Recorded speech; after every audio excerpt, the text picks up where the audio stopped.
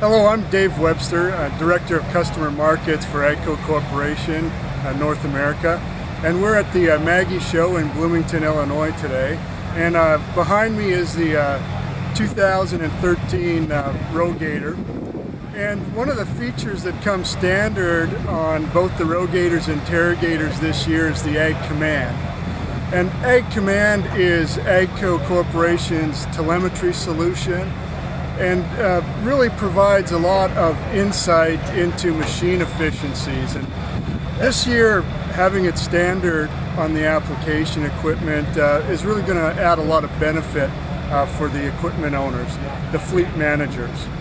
And while we've had it out in the market for, uh, I believe this is our third season, we decided to put it on standard just because of the benefits that we were seeing our customers getting from it you know, improved efficiencies. You know, we're seeing differences between operators in productivity, uh, sometimes 10, 15, 20, 30%. So we can take, uh, or a fleet manager can take that information and promote best practices across all of his operators.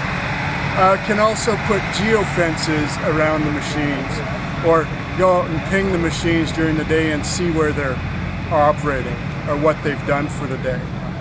And from a, from a dealer standpoint as well, if they're selling service and maintenance contracts, they can set up uh, reminders uh, to get ready or book service uh, for the machines.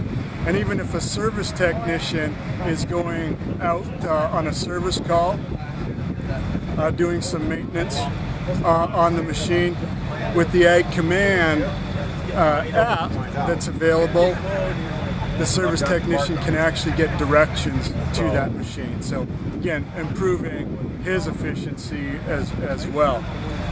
And we've uh, spent some time training the dealers uh, this past summer. We had uh, what we call our Drive to Learn events, uh, which focus on the sales side of our dealer organization and really explain the benefits of, of Ag Command and how it can drive efficiency into our customers' operations. And we're also uh, incorporating Ag Command training into our service training, so training service technicians on the information that's available for them as well. So great new feature and pretty happy to have it standard on our machines for this year.